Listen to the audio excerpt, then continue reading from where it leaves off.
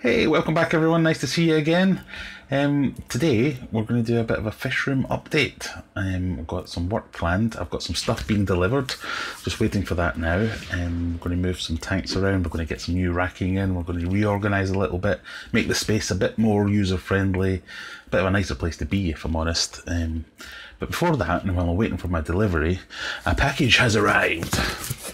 Now this is something that has come from Someone that commented in one of my videos, the Santa Monica Filtration Company, they sent me through uh, a couple of messages saying that they want to test out some of their gear. I gave the same reply that I give to everyone that sends me messages wanting to give me stuff. More than happy to review anything at all, but if I think it's shit, I'm going to say it's shit. So you'd be surprised the amount of people that then say, oh well, never mind then you've got to really be lacking in the confidence of your product if that's the way you're going with it. But no, these guys said, yep, yeah, that's fine, no problem at all. Um, we'll send you a box, and it's come pretty quickly actually, and twenty-two pounds or twenty-two dollars they've spent on postage as well. So they must be quite uh, confident. I don't, I can't even remember what it is that they've sent me. So this is a bit of a surprise for all of us. So as always, fancy knife. Let's get this thing opened. Okay, let's get all this out of the way. We have our box. I hope it's nothing too perishable in there or I'll just cut it in half.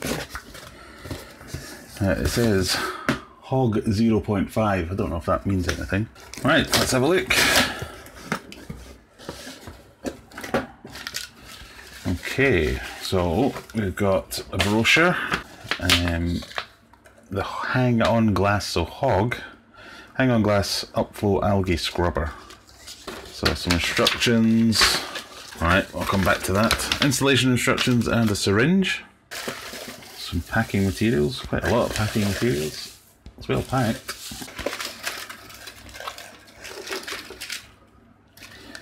Right, so what have we got here?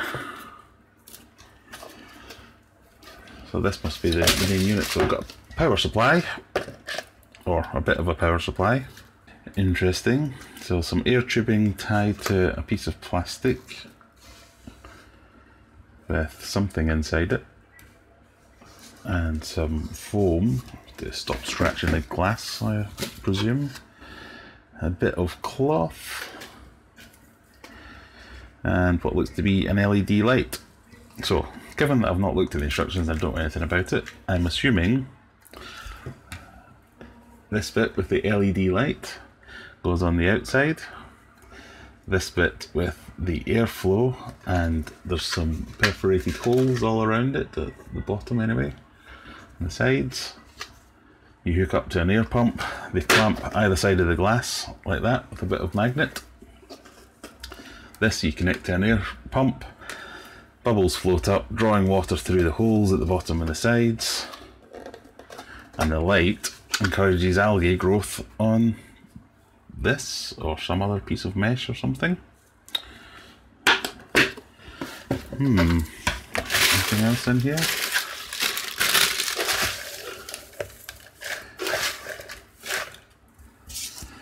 I think that's it for packaging.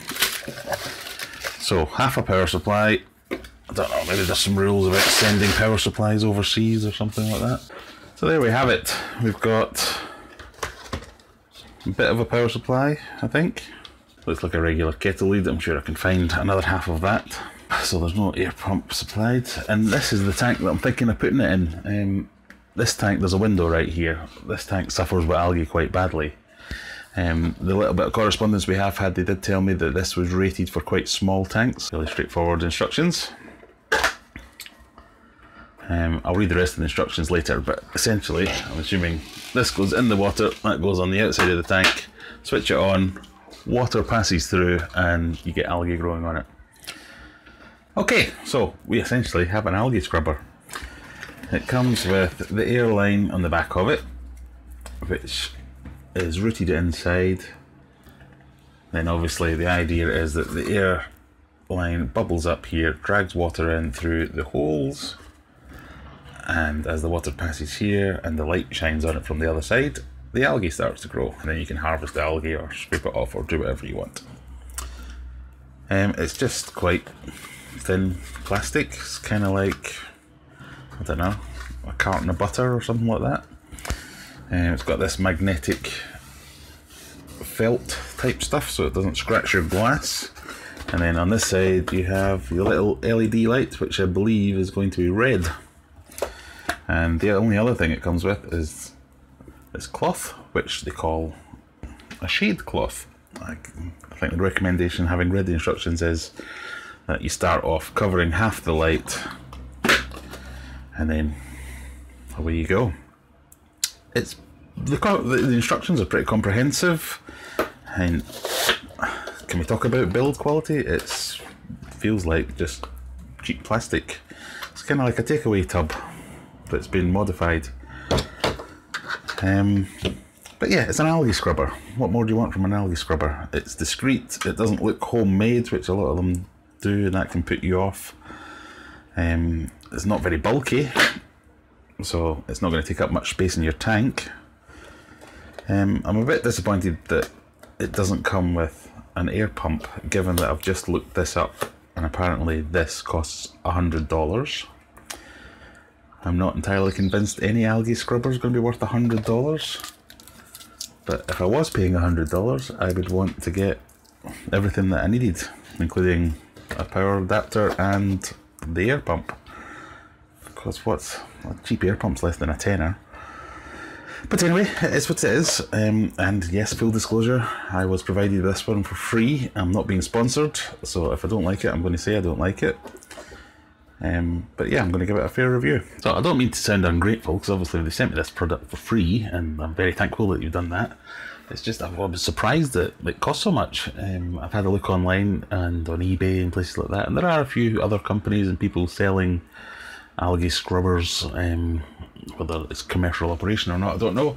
But they are, they're, they're really expensive. I'm just quite shocked by that. So I guess if this one does the trick, then maybe it is worth the money. Maybe it's just my Scottishness showing through. Um, but yeah, at first glance, I thought I could put that together for a tenner, but maybe I'll have a go at that one day. Future video idea. Um, but yes, I just uh, I don't want to sound ungrateful, and obviously that if that is the going rate, that is the going rate. It is what it is, and as long as it works and does what it says it does, there's no one forcing you to buy it. I think my new racking has just turned up.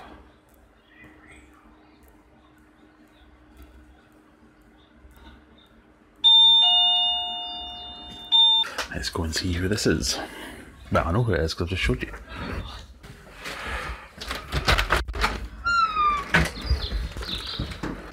tin boxes. They're not the best. Alright. It's not even for you though. Surname, buddy? Care. Thank you. Cheers. Nice one. See ya. You. Bye bye.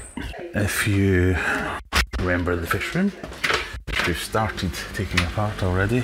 So this is the fish room as you will remember it. Um, I'm not sure if it comes across, but I can touch this tank, I can touch this tank, and I can touch these tanks without actually moving. And it's these ones that are the problem. So what I have found is that due to my severe idiocy, maybe, I cannot change water on any of these tanks without flooding the entire place. And it's because none of these tanks have overflows which are linked to the drain, which is down there. Whereas these tanks all do. So the plan is that this racking system here has worked flawlessly. Love it. It's by Big Dug. I'm going to get a matching one of these and it's going to fit in this space here. This one's going to go all together. Um, and then we'll move all these tanks here. It's a bit bigger that way as well, so we maybe even get a few more extra tanks in, but don't tell anyone. Uh, and then we can get a fish wall, if you like. And then I put some shelving, some other racking up here for the non-fish stuff, because got paint and fillers and screwdrivers and all sorts of stuff down there. So that is the plan for this place. That'll be in the next video. So make sure you click subscribe and you won't miss it when it comes out. And that bell icon, the fancy graphic down here or down there somewhere. But yes, let's get on with this unboxing and start of the review. So this is the tank I'm going to use it on. The instructions go into quite a bit of detail about um, sizing and what it's used for and what kind of uh, algae you can expect and how to treat different types of algae and how to use this in various situations. So it's very fairly comprehensive. Um, but yeah, this tank itself gets a lot of light from there's a window just up here. Um, and as you can see on the rocks, I have to clean this fairly regularly to be able to see into it, but the rocks are covered in algae, which is a good thing because the shrimp love it and the shrimp are going mad in here. Um, but let's get this plugged into this. I'm going to put it in the side here so you can't actually see anything of it. Just hope I've got a spare air pump kicking about somewhere. So this bit here goes in the tank. And this bit here goes outside the tank. You don't want to put the light and the electrics in the water, surprisingly enough.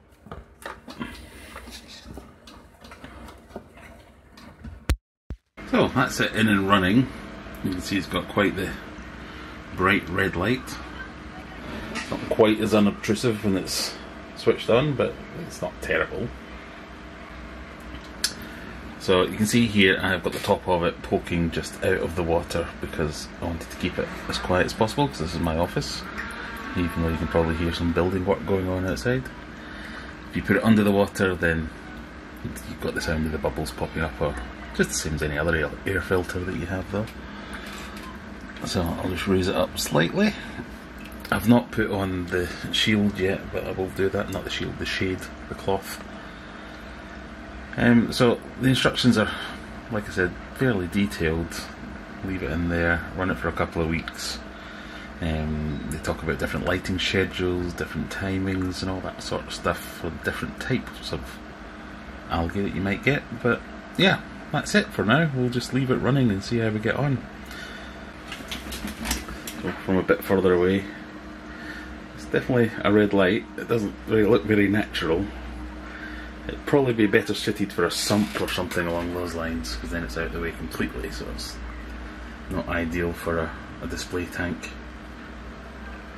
But I've seen more more obtrusive filters before.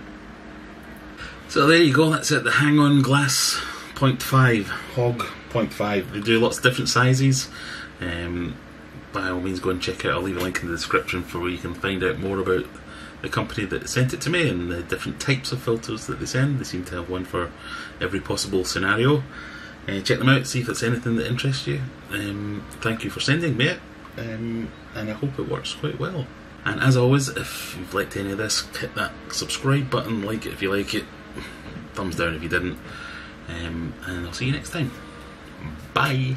So, look out for a full review coming up in a future video once I've read the instructions and understand how to do it.